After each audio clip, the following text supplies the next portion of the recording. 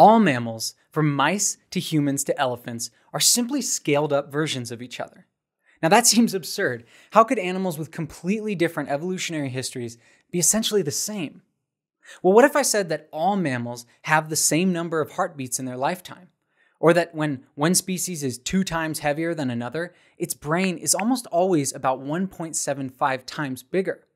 Or that similar relationships exist for everything from metabolic rate to genome lengths? In this week's podcast, I speak with Dr. Geoffrey West about these fascinating ideas in his 2017 book, Scale.